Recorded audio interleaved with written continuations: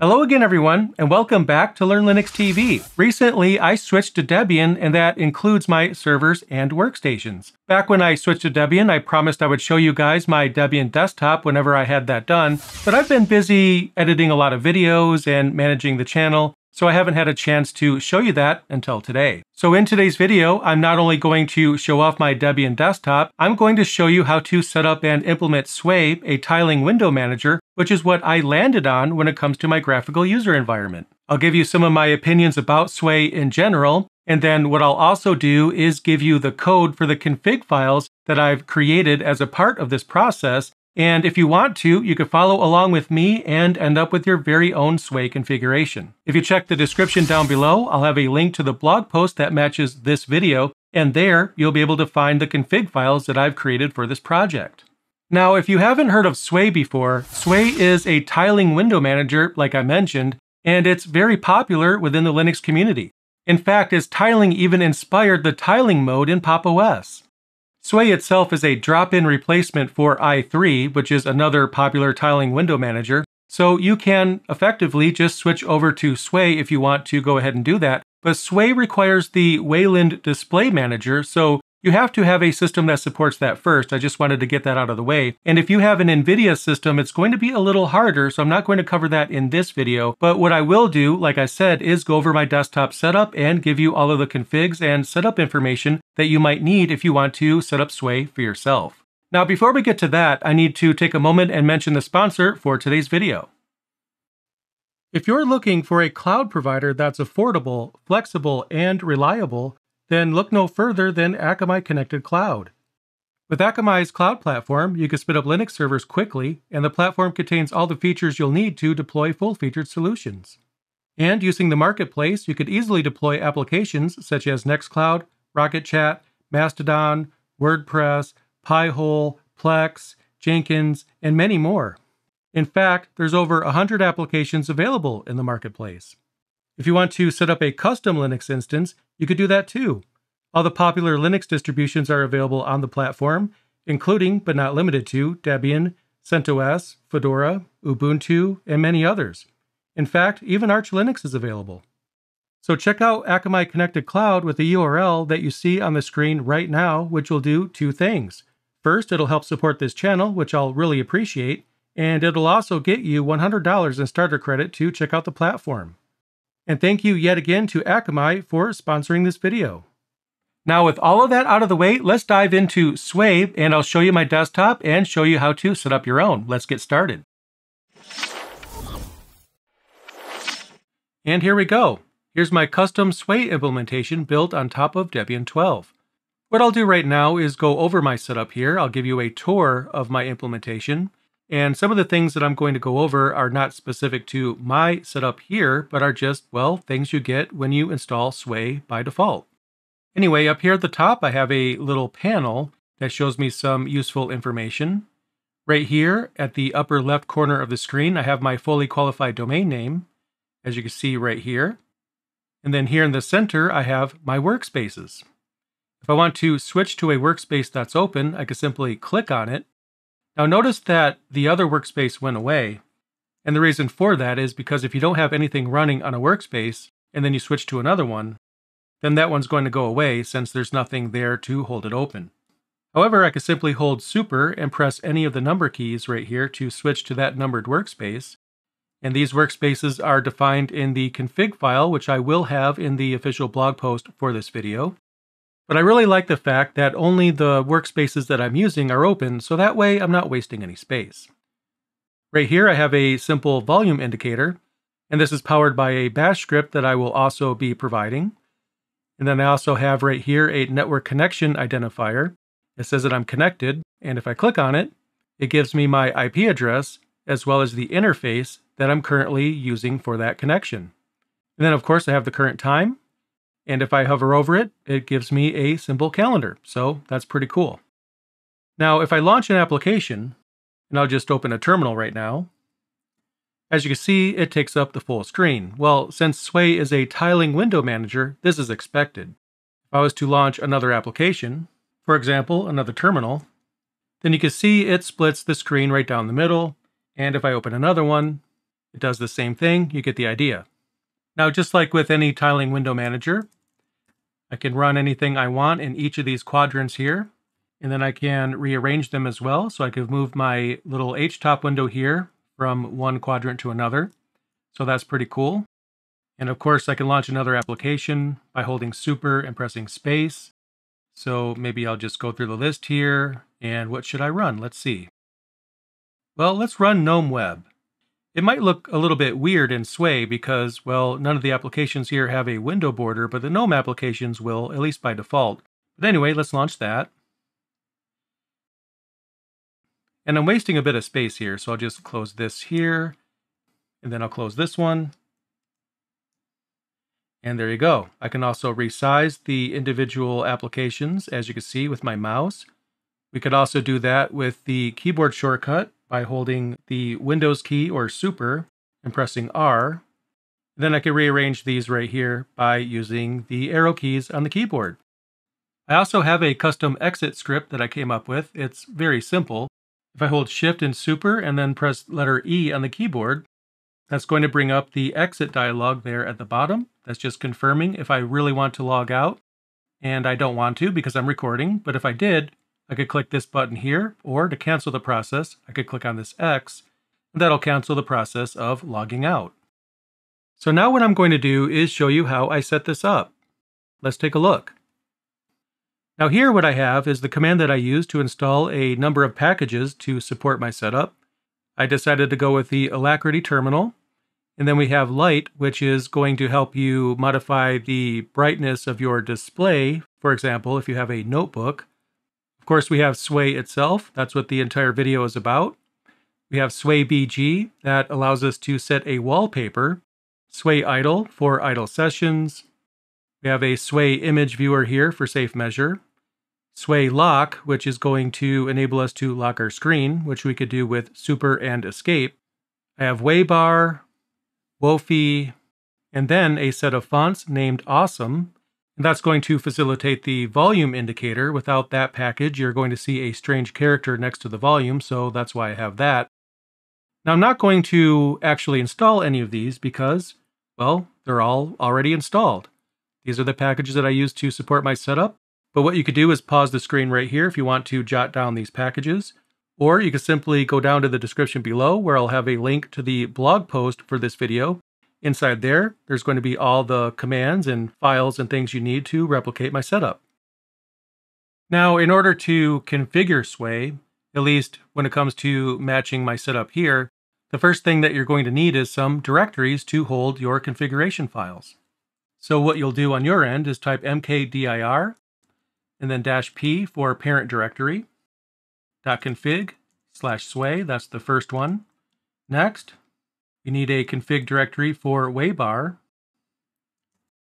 And then we need a config directory for Wofi, which is what provides us with this nifty menu right here. That's what that is. That's what Wofi is, and my configuration file for that will be stored there in that directory. Anyway, on my end, these directories already exist, so there's nothing that I need to do, but you'll need these three directories created at least. Sorry to interrupt myself, but I just wanted to let you know that I really enjoy making this content for you guys. I have a ton of fun. If you enjoy the content that I produce, then please consider supporting Learn Linux TV. The thing is, producing content like this isn't cheap. So by giving back to the channel, you can help me make even more content for you guys. And to find out more about how you can support Learn Linux TV, what you could do is go to support.learnlinux.tv, and there you'll find some of the ways that you can help support the channel. Anyway, let's get back to the video. Now, when it comes to editing these config files, what you'll do is use your text editor of choice. Mine is Vim, but I'm just going to use Nano to keep it simple. And what we'll do is edit a file called config, and that's going to be saved in the .config slash sway directory. And what you'll see as soon as I press enter is my config file. Again, this will be linked in the blog post, so you could fetch this file if you want to copy what I have here.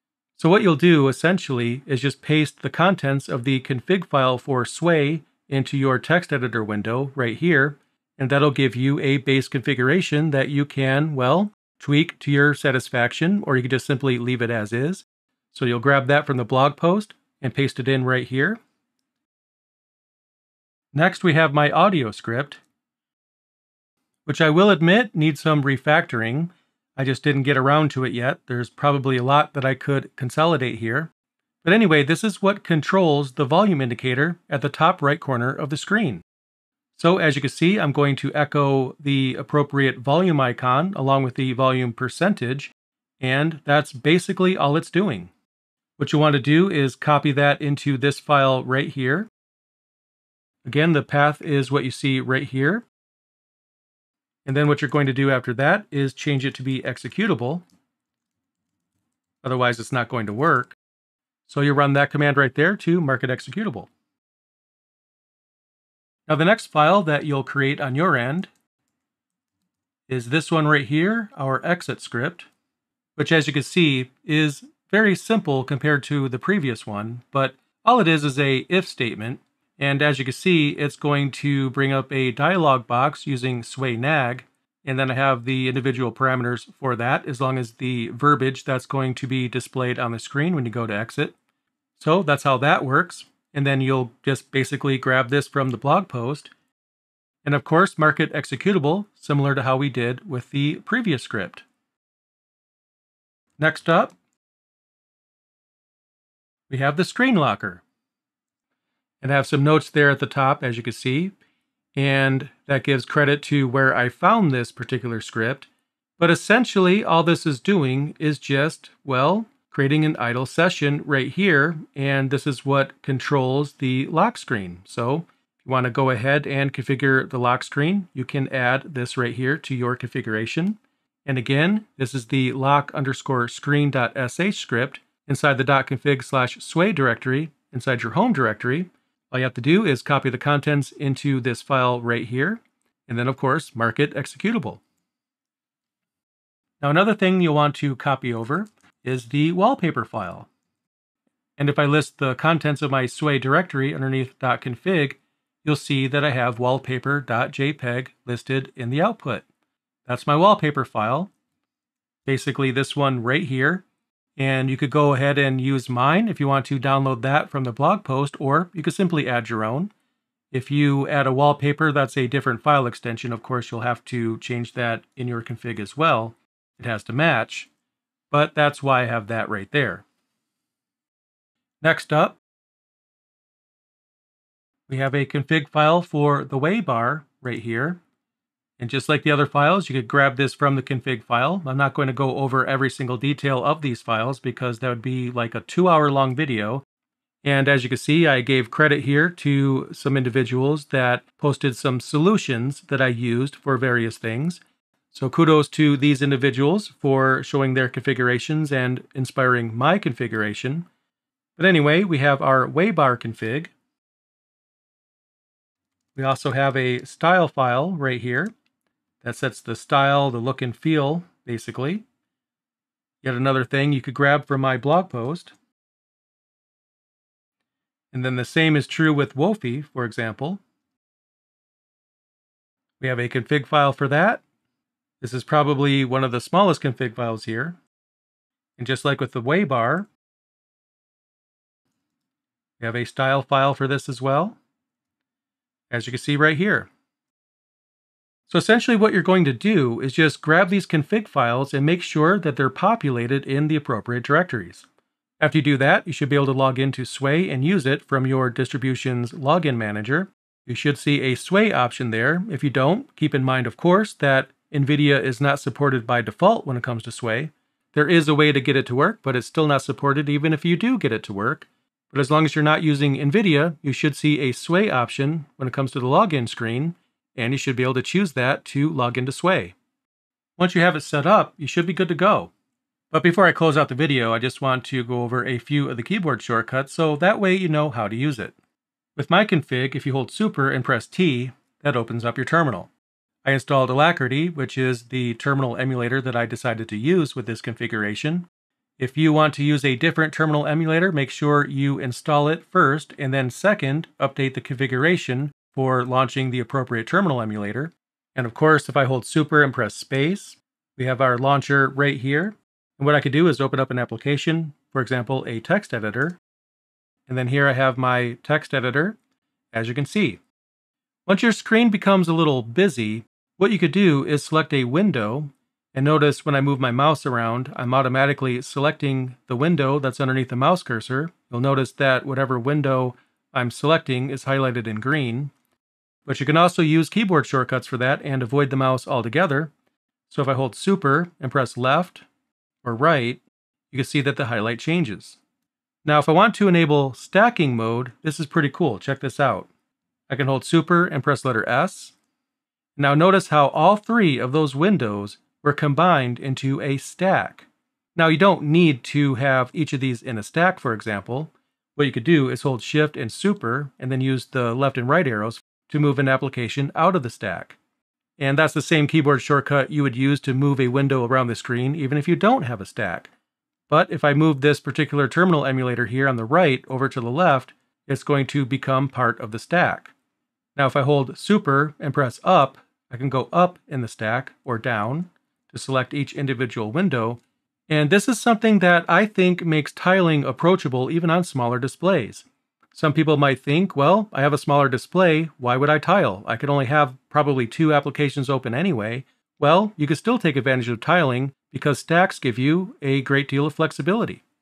When it comes to the workspaces here, I could simply hold super and press the number associated with the workspace that I want to switch to, for example, I'll switch to workspace number one, which is currently not open. But if I hold super and press number one, it'll create that workspace if it's not already open.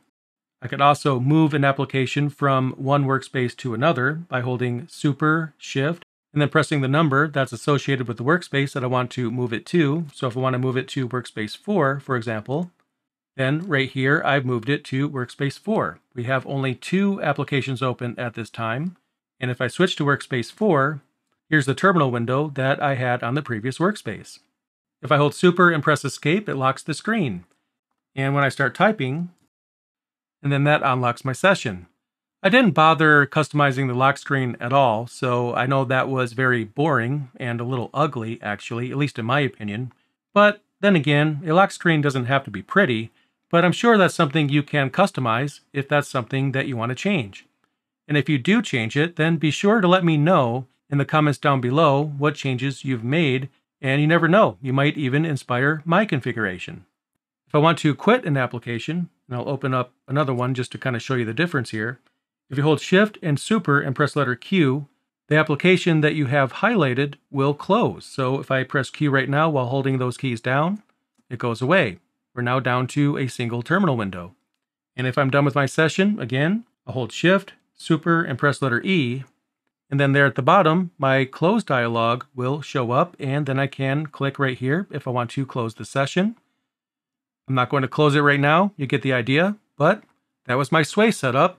It's really basic, but I figured it would be a great starting point for those of you out there that want to get started with Sway. Be sure to check out the blog post for this video because I'll also have a list of keyboard shortcuts there as well to get you started, and hopefully you'll enjoy Sway as much as I've been. And well, there's our video. I hope you enjoyed this video on Sway and my desktop setup in general. If you did enjoy this video, please click the like button to let YouTube know that you enjoyed my content. That might help Linux take over YouTube, which would be awesome. Or maybe not take over YouTube, but at least be more popular on YouTube. I think that would be awesome. Anyway, I have a ton of content coming very soon, so I'm going to get started on recording those videos for you guys. Make sure you subscribe to Learn Linux TV for the latest in Linux, and I'll see you in the next video.